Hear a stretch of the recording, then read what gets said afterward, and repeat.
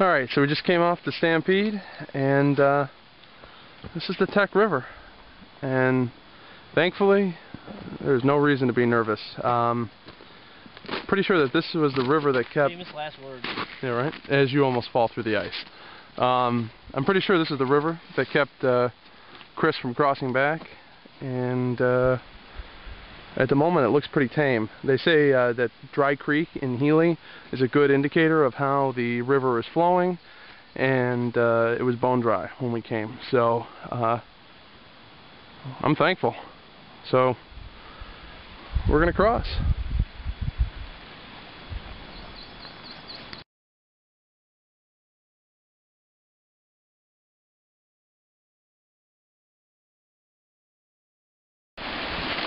Alright, and just a little update. I spoke too soon. this is the Tek River, and it is definitely more intense than the Savage, uh, and it looks deep.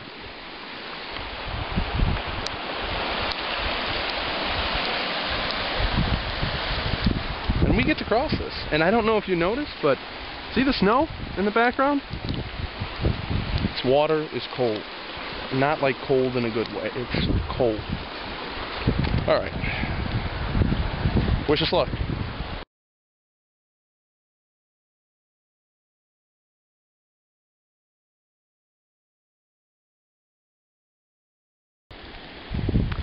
Alright, so we're still on the same side of the Tek. and, uh, and, uh, Sean fell in. So, we built a little wire or a little fire here and uh, we're drying out our clothes and uh, we've decided we're gonna give it another try. Uh, water is deep and it's cold. Yeah it's very fast. Uh, yeah it's very fast. So uh, this is where we're at and uh, hopefully we'll let you know in a little while and we'll get across okay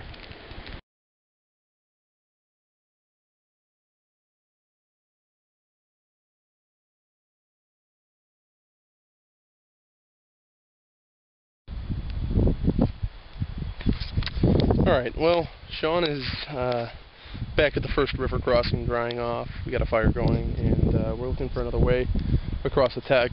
Um, I went up into some woods because a little bit earlier we saw, I don't know, an elk or a caribou, some big four-legged animal uh, cross the river pretty easily. And uh, granted, his legs were about six feet long, but um, animals tend to be smart, so hopefully there's a little bit easier crossing up here.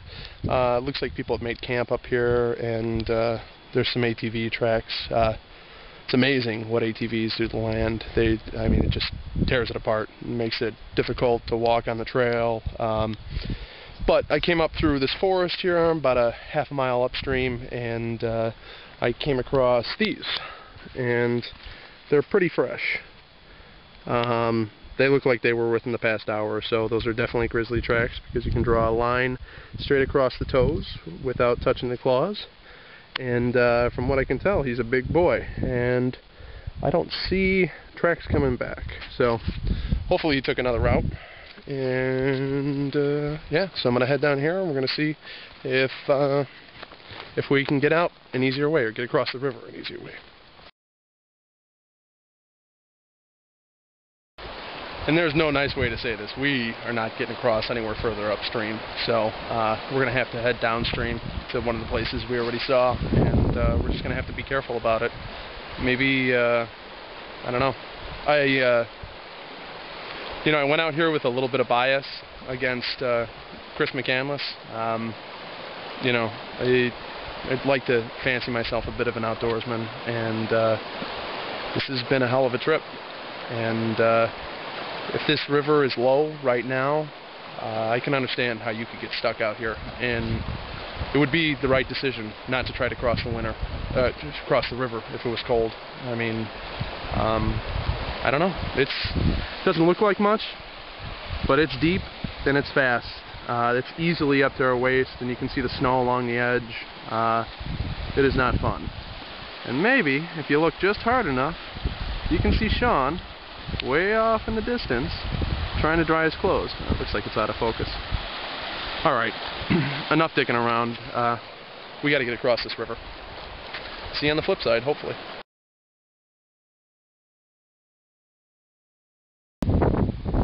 Alright, uh, here we are back at the deck. Uh, an hour later, I made it across. Uh, Sean did not. He didn't fall again, but uh, it was tough. I mean, it was up to my waist, and that water is moving fast. So, what we're doing right now uh, is we're going to try to swing a uh, zip line across. Hopefully, see. Hopefully, that'll do something. Uh, and if not, he's going to go back to camp, and at least he'll provide me with a way to get out. So, I'm going to tie, uh, I think, from that tree up there over to that stump there. And it's a heavy thing, it's not going anywhere. And then uh, we'll just leave it, you know, in case anybody needs it. Uh, it's an all-weather rope, it should hang up for a while.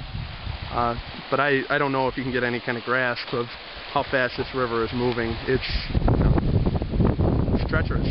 I don't even know what to say. Uh, I, uh, I almost lost it and went in, so. Alright, hopefully we get them across.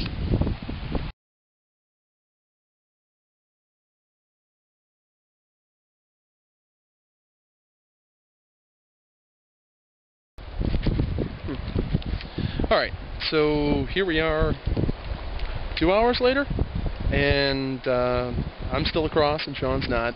We set up a zip line, uh, or at least a guideline, and Sean's about to try to get across. Uh, I haven't told him yet, but I think the water's a little deeper over here, so hopefully he makes it over. Hopefully he doesn't lose anything. Um, he has the stove, which I'm really worried about because that means no more hot meals for us. Uh, so here he is this of view.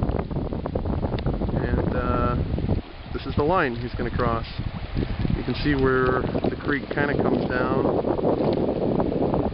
and it pools here. So it's calmer, but I, I suspect it's a little deeper. Um, but then it picks up again over there. And again, the water is just really cold, really, really cold. So worst case scenario, you know, if he gets swept away, he'll be clipped to the line, but if by chance he gets swept away, he'll be able to get out right there where it gets really shallow. So it seems seems relatively safe in the grand scheme of things. So we'll see.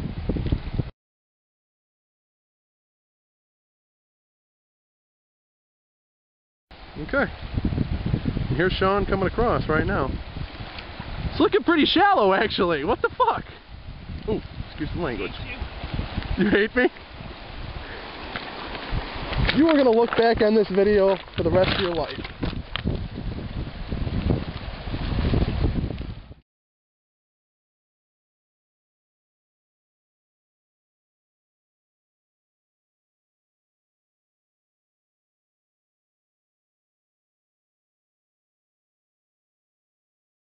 All right, I gotta, I gotta get off this. He made it. I'm gonna help him.